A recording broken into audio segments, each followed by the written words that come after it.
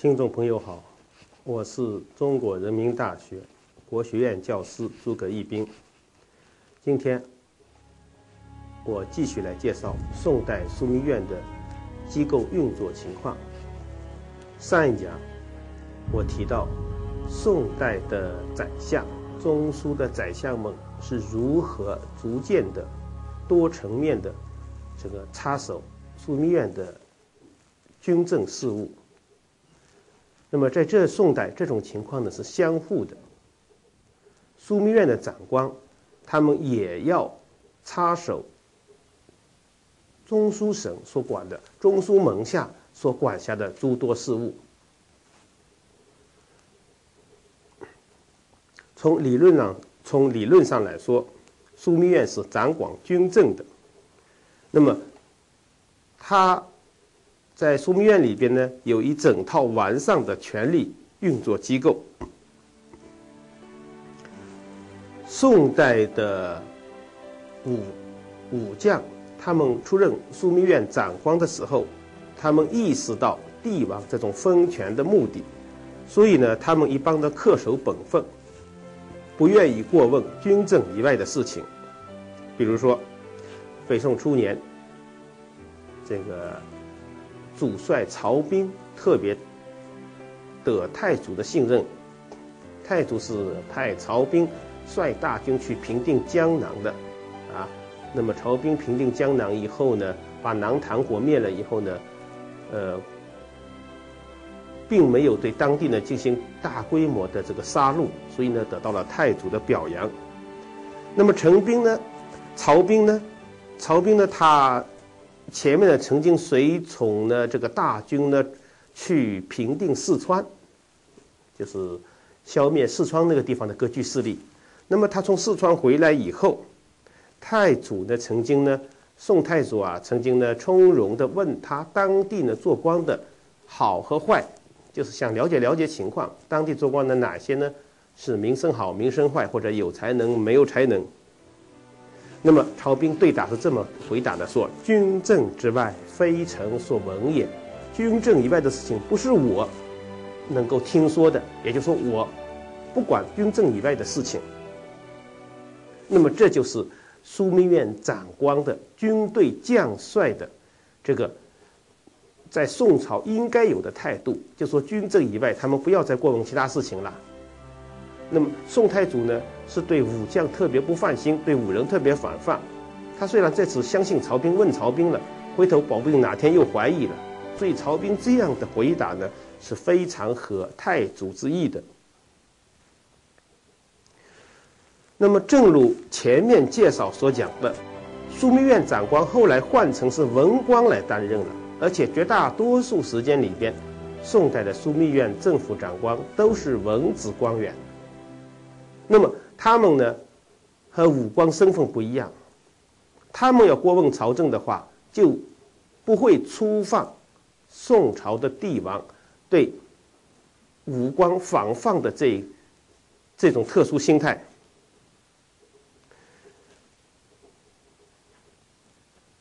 上一讲提到，宰相们如果不参与枢密院的事务运作，那么，朝廷的许多行政这个条令无法贯彻实施。反过来说，枢密院的长官要如果不参与朝政的一些运作，朝廷的一些事情同样难以贯彻实施。你比如说，皇帝有病的时候要立太子，或者说皇帝突然去世要立一个新的皇帝，你说管军政的这一系列的大臣。根本不知道不参与意见，那当然也是不可以的。所以呢，在朝廷的日常事务的运作过程中，枢密院对军政以外的事务的参与也是越来越多。也就是说，二胡二胡之间，它具有呢相互的双向性的参与，你参与我的事务，我也参与你的事务，所以。今天这一讲的主要内容是来讲枢密院他参与军政以外的政务，和上一讲宰相参与枢密院的军政形成了对应。那么，如果我们翻开宋代史料，我们就发现，枢密院参与军政以外的大事，甚至小小事的商议决策呢，也是非常非常经常的。比如说，举几个例子。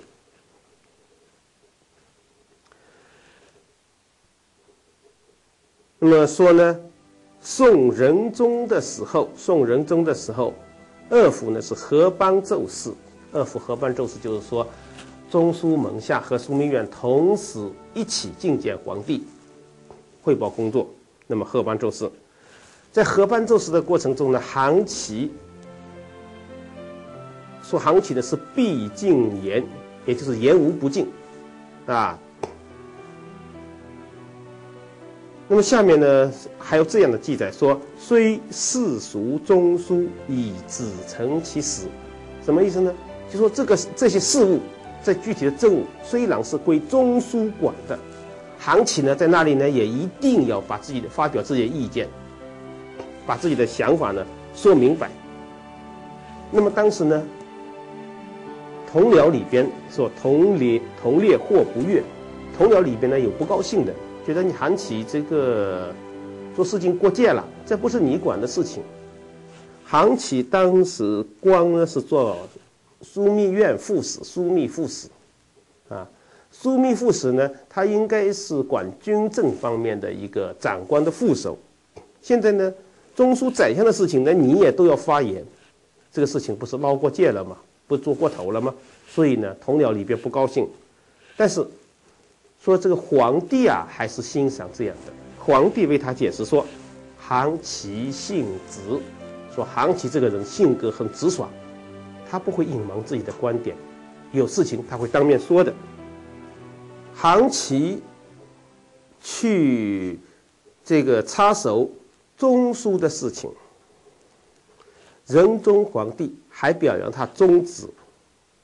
那么从这个事情可见，枢密院的长官、副长官干涉军政以外的政事，在当时呢，在皇帝看来并不是越权。那么这一个事情，那么再举一个哲宗皇帝的年间例子。哲宗皇帝呢，元佑这个六年的时候。当时呢，枢密院的长官呢是杭忠彦，杭忠彦这时候呢是知枢密院事，是枢密院的第一把手。他在向太后，当时是太皇太后，哲宗的祖母太皇太后高氏垂帘听政。他在向太后呢汇报工作完毕以后，提了个问题，说赵宗羲假意罢，不知因以，岂非言书是否？那么提了个问题，就是说，朝廷里边有两个当官的，一个叫赵宗羲，一个叫赵宗熙，一个叫贾谊，这两个人被罢官罢掉了，不知道是什么理由，是不是是不是他们功绩疏失而被罢掉呢？那么这两个人呢，赵宗喜和贾谊在当时朝廷里是做谏官，谏官是专门负责给朝廷提意见的官，这个谏官呢，这个系列应该是皇帝直管。或者托宰相代管的，啊，从理论上说，他们应该是皇帝直管的，直接由皇帝管辖的，这是完全是跟军政没有关系的。那么，杭忠彦呢，在自己奏事完毕以后呢，却向太皇太后提出这个问题，说明他是过问这件事情了，啊。因为朝廷把谏官罢掉的话，对朝廷的名声不好。谏官本来让他们的职责就是他们的职责就是给朝廷提意见，现在他们提了意见，你把他罢免掉，这个是做的不合适的。所以这个杭忠彦要过问这件事情。太后回答说：“是的，你说的对。说他们呢是他们呢就写诗歌的事情来诬陷苏轼，所以我们把他罢免了。”那么，知枢密院是杭忠彦的这个提问，超越了军政以外，涉及到朝廷罢免借官的事情。那么太后呢，对他的提问也做了这个正面的回答，并没有认为呢韩忠彦是越权了。他没有说，哎，这个事情不用你管，不是你部门管理的事情。但没有这么回答，啊。那么，可见枢密院长官参与朝廷的政务，参与朝廷的其他政务，就军政、军政以外的其他政务，是非常正常的事情。还有。朝廷呢，这个像这种记载呢很多，比如说任命官员。仁宗的时候呢，还让一位副宰相叫吕夷简和枢密副使，就枢密院的副长官夏松，一起修去修真宗国史，就是枢密院的长官参加国史的这个修订。宋代修国史。是宰相的一项特权，啊，宋代的这个第二位宰相是兼国史馆的，兼兼领国史馆的，称国史相。那么现在呢，让枢密院的副长官也参与修国史，那就是参与到军政以外的事情了。还有呢，地方上的一些徭役啊，一些这个具体的政策性的法令法规性的问题啊，朝廷有时候都指令。枢密院参与讨论。我们如果翻检宋代的这个以往的诸多资料，我们可以发现，枢密院的长官和副长官也是几乎参与了朝廷一切大政的这个商讨，甚至呢，连许多小事情也插手，这呢已经。是被宋代的人普遍接受的，大家认为这是很合理的。那么，下面呢，就来看一看枢密院参与军政以外的政务事务，有哪些历史或和现实的因素，这个造成的，是因为哪些历史和现实的因素造成的？那么第一点呢？从枢密院的职光渊源来看，就设立枢密院的这个渊源是什么？其实这个呢，在上一讲已经提过了。枢密院它是怎么样出现的？是怎么设立的？在设立的过程中，它的这个管辖范围有怎么样的变动？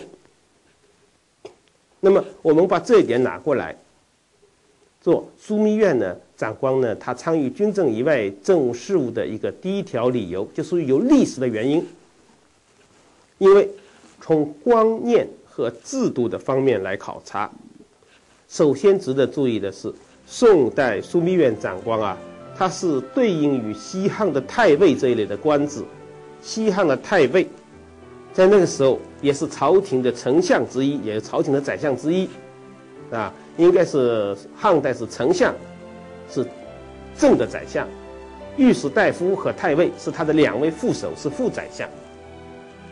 也就汉汉代的太尉呢，位居三公，是朝廷的宰相之一。那么习惯上，枢密院的长官和副长官也应该是属于宰相的这个呢官职范畴。所以枢密院的在宋代枢密院的长官、副长官都被归入执政啊，啊，是朝廷执政。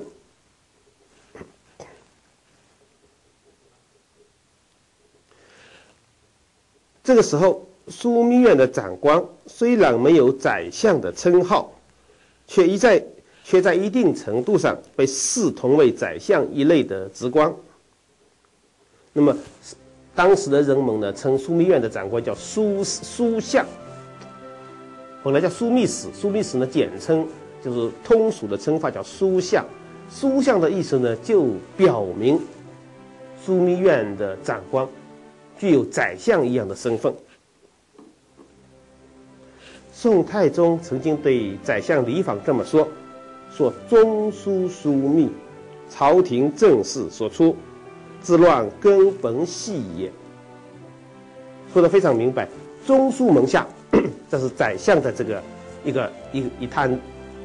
那么枢密院是枢密使这个一摊，你这两个地方是朝廷的政事。是由你这两个两大机构决决策决定的，这是天下治乱的根本所在之处。那么从这样的观念来说，也就是说，书面的长官，它相当于宰相。从这样的观念来说，那么宰相的坐而论道、事无不同等职权观念，也适应也适用于枢密院长官。国家大事，枢密院有权参与商议决策。范仲淹，他曾经呢追溯宋代这个官职的演变。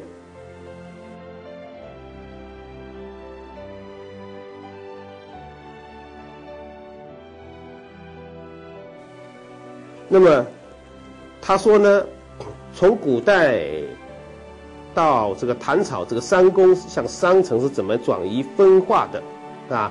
那么到了这个宋代，方仲淹说，到了宋代，那么中书和枢密院，他呢都这个呢，他们都分管了。古代宰相的一部分事务，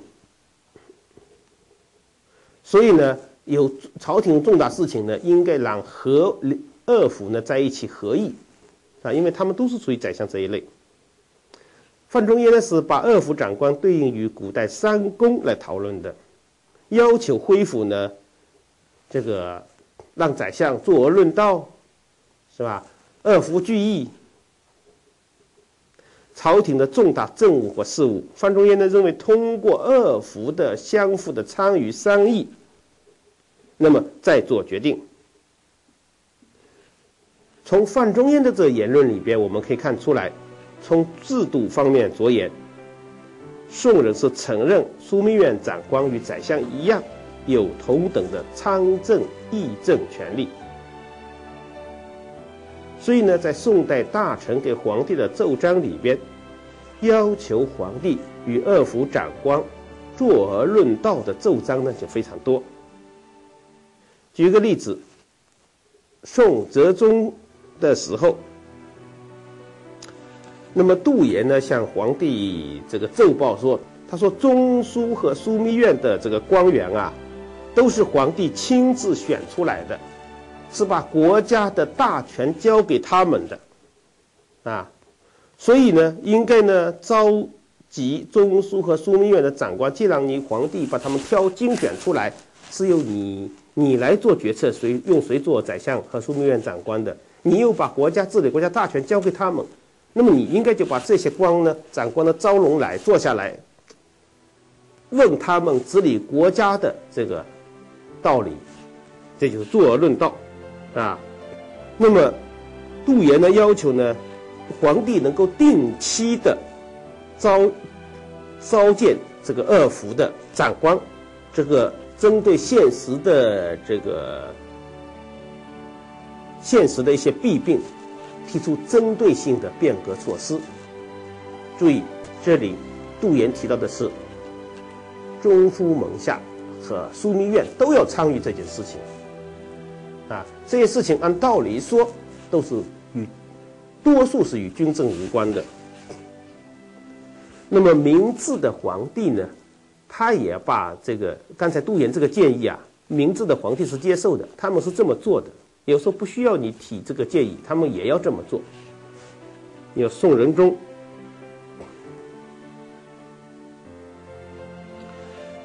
宋仁宗呢？他在位的时候就做过这样的事情，那么后来的宋神宗也做过这样的事情，也就是说，明治的君王，他们都将召集二府坐而论道，作为呢开明纳谏、励精图强的一种主要措施。所以从这样这个治光的制度渊源来说，两宋的绝大多数时间里。南宋、北宋这绝大多数时间里，枢密院长官都把参与国家大政作为自己应尽的职责，这也就显示出二府的职权的有时候的重叠了。有时候皇帝会让中书和枢密院同时推荐这个一一种一类官员的这个名单。比如说这个景德四年，也公元一零零七年的七月，当时朝廷呢设置诸路提点行月光。这个路的概念呢，相当于我们现在的这个几个省合并为一个什么华东区啊这样的一个概念，就是比省的概念还要大，啊，几个省合并。那么北宋朝廷呢，举准备在这个路，在这么一个行政区域里边设提点刑狱。提点刑狱呢，它是干什么的呢？是专门这个管司法方面的官员，就是。一个大区，什么华东区啊、华北区这一个大区，专门设一个呢管司法的官员，啊，管理呢这个告状啊、司法方面的这个案件的处理啊等等。那么朝廷准备设这样的官员，真宗皇帝就命令，就下下令让中书门下和枢密院这两大机构的长官。同时选择名单向皇帝推荐，最后由皇帝做决策。那么有了这样一种制度观念上的保障，就是说，枢密院的长官参与军政以外的政务和事务是由制度保障的。那么有这种制度保障以后呢，一旦枢密院的长官被排除在朝廷大事之外。在被排除在朝廷大事商议、决策、讨论的过程之外，那么他们就会提出异议，甚至提出抗议。最典型的例子呢，就是韩琦与富弼的例子。开始的时候，韩琦和富弼两个人都做宰相，那么朝廷有什么大事，作为宰相的富弼总是让枢密院长官一起参与讨论。后来呢，富弼呢，因为母亲去世回家居丧。等他回到朝廷的时候呢，宰相没有位置了，位置已经满了，所以呢，皇帝呢任命他做枢密使。在做秘枢密使的时候呢，这时候宰相是韩琦，韩琦呢有事情呢，基本上不跟枢密院讨论，不跟枢密院商量，除非皇帝特别指示他说你要跟枢密院商量，他才跟枢密院商量，否则的话他应该自己做主。那么，甚至呢，让太后撤帘，皇政给皇帝这样的大事情，也不让枢密院知道。就是这个，我在以前讲座里提到过的，宋英宗做了皇帝以后呢，这个得病，神志不太清楚，不能主持朝政，所以呢，有那个曹太后垂帘听政。这个曹太后就是我。刚才讲座最开始的时候提到那个曹彬的孙女，由他来垂帘听政。听政以后呢，后来呢，皇帝病好了，这个韩琦就逼太后还政给皇帝，啊，说皇帝都已经有能力处理政务了，老臣我要求呢退休了。太后说要退我先退，那韩琦说那你赶紧退，就这个事情在以前讲座里提到这件事情。那么这个事情呢，韩琦逼太后还政的这个整个过程呢，枢密院不知道，富弼根本不知道。所以呢，富弼呢听说这件事情以后呢，非常生气，而且呢大吃一惊，说这样的大事情都不跟我说，我也作为是呢朝廷的重臣，而且是属于执政大臣，啊，其他事情你不告诉我也就拉倒了。这件事情你怎么不告诉我呢？那么，复辟这样的大吃一惊，复辟这样的埋怨的言论，许多人认为是对的，好多人呢就拿这个事情去批评韩琦，说你太独断专横了。这复辟说的对呀，结果韩琦怎么辩解呢？就说这个事情应该是由太后做主，我怎么可以呢？让让外面的人先来商量呢？就是说，太后撤帘不撤帘是应该由太后做主的。你外面先商量好了，让太后撤帘，回头去逼太后撤帘，太后不又不是不高兴了吗？事实上，韩琦他自己也是逼太后撤帘了，所以他完全是一个借口。总而言之，韩琦在这个中书在宰相的时候，他就排除枢枢密院长官的参与朝政的这个大事的决策。枢密院长官复辟。不高兴，有怨言，而且舆论上认为复辟这种怨言是对的。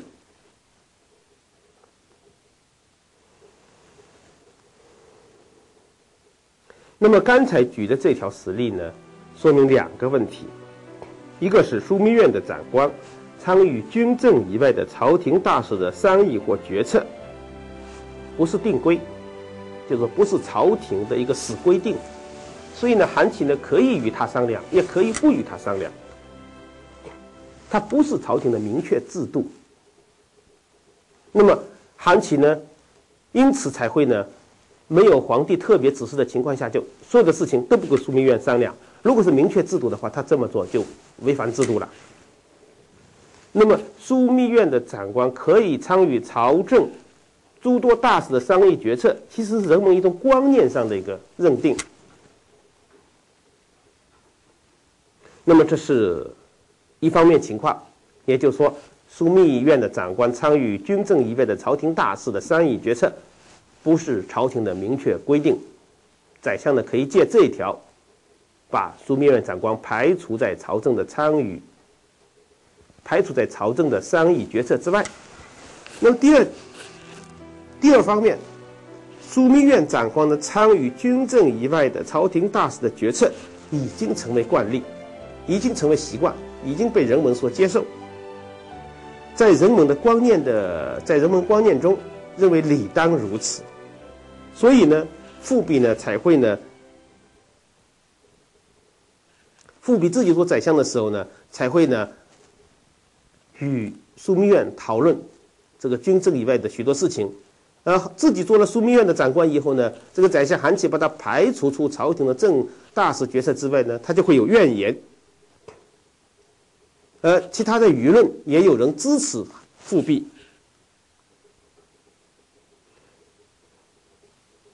那么把刚才两两点呢对应起来归纳一下说，就是从观念上来说，人们认定枢密院有参与军政以外的朝廷大事商议决策的权利，却没有制度上的明确保障。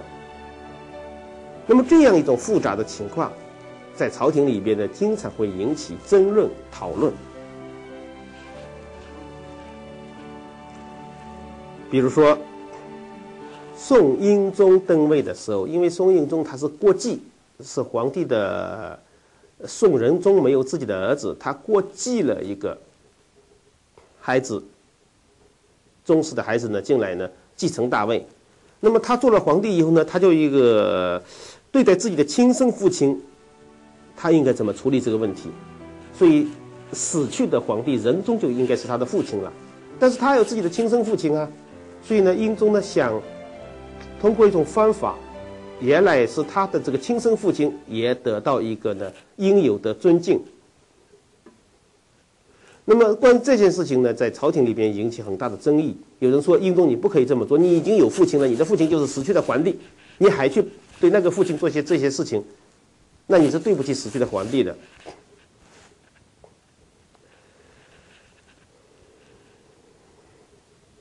而当时的宰相这个班子呢，是支持皇帝的做法的，认为皇帝这样尽孝呢也是可以的，不矛盾的。啊，那么在这个过程里边，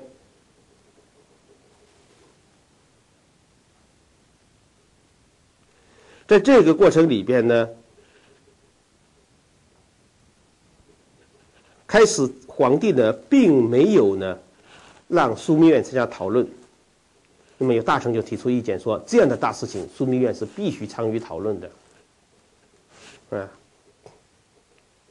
像这样的事情呢，在宋代呢，还是陆续会发生的。我们下面一会儿再介绍。